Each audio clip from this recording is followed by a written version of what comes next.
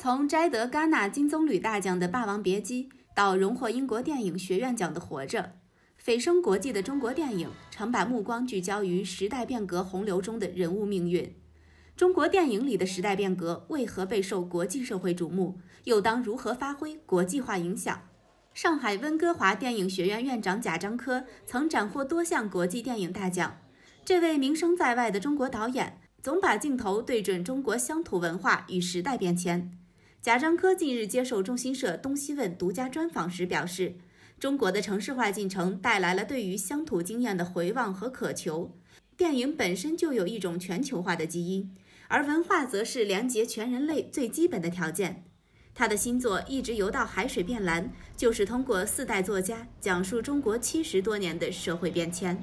最初这个影片呢，是想拍中国的过去七十年的生活经验，特别是来自个体的这种生活的命运经验所带来的一个个人历史的讲述，来带来整个中国经历的现代社会的这种变迁。啊，因为中国现在我们城市化的进程非常迅速，啊，生活在重组，呃，对于理解当代的中国，对于理解城市化的中国，啊，可能有一个非常重要的角度，就是我们回望历史，要了解今天我们在城市里面遇到的问题，我们的困惑，啊，以及界定今天生活形态，啊，向历史问答案，我觉得是很重要的。贾樟柯表示。如果针对人类共同关心的话题，提供中国艺术家的观察和回答，就能引起广泛共鸣。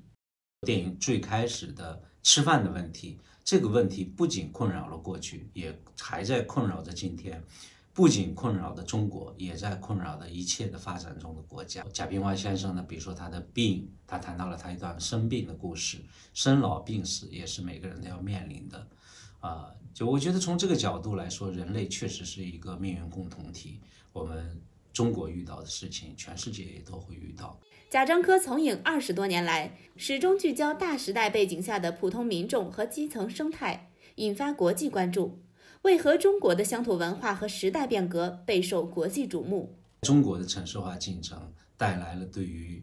呃，乡土呃经验、乡土文明的这样一种回望的渴求，它带来了在文学跟电影表达上的一个一种冲动。在中国艺术中无处不在的是对于这种变革的呈现。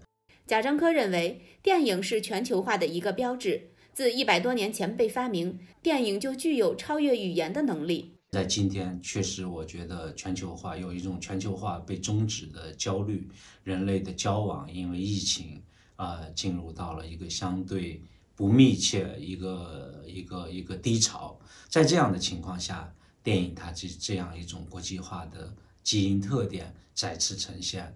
啊，因为我觉得不管外部的社会变迁如何复杂，文化的联系需要紧密的呃联系在一起，因为这是人类连接最基本的条件。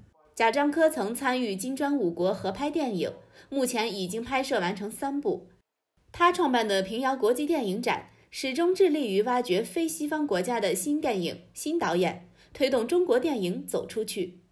除了人们熟知的电影导演，贾樟柯还是上海温哥华电影学院和山西电影学院院长。